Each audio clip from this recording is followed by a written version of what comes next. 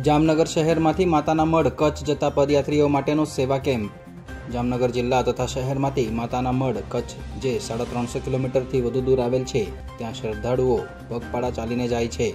જેની પદયાત્રીઓ માટેની સેવા કરવા માટે જામનગરમાં પદયાત્રી સેવા કેમ્પ યોજીને સેવકો દ્વારા પદયાત્રીઓને જમવાનું, ચા પાણી, નાસ્તો, છાશ, ઠંડા પીણા તેમજ વિસામાની રહેવાની વ્યવસ્થા કરવામાં આવે છે. ઉપરાંત મેડિકલની સુવિધા પણ આપવામાં આવે છે.